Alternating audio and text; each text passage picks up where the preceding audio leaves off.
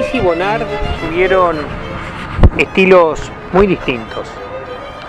Matisse es una pintura que desde el inicio se puede catalogar como abstracta, donde lo que importan son las manchas, las formas, el color.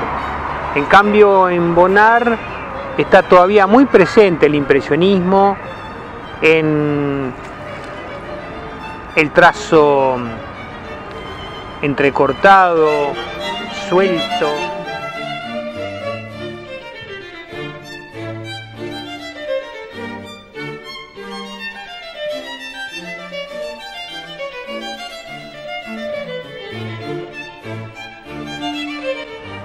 Hay una característica que sí los hace en común. Los dos tienen una fascinación por la ventana.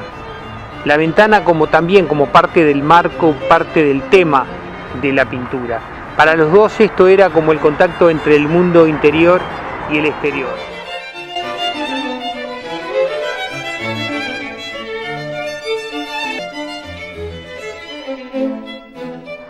Otro punto que los, que los conecta mucho es la, gran admiración que, se tienen uno a otro. Es más, eh, cuando uno se muda a la costa sur, el otro también compra una casa muy cerca. O sea que viven viven en, muy estrecho eh, contacto los dos pintores, si bien cada uno mantiene estilos distintos, pero apasionados sobre temas similares.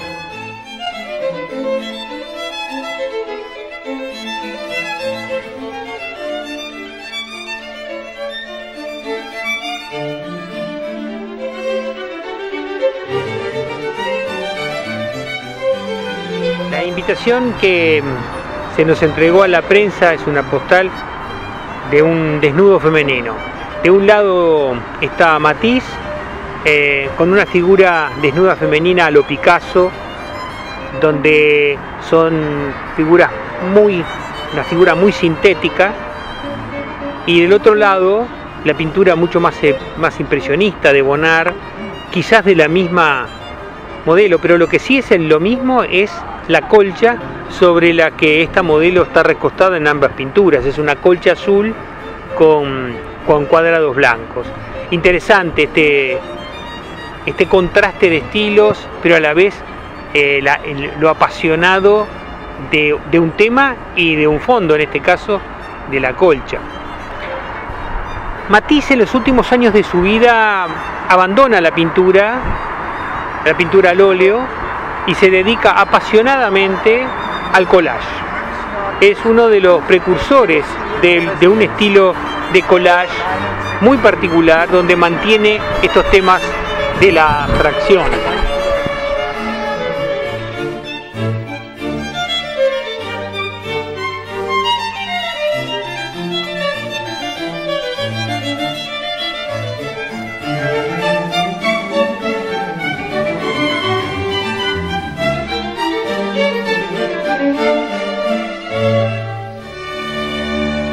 Muere en 1947 y en ese año Henri Matisse publica su libro de arte llamado Jazz.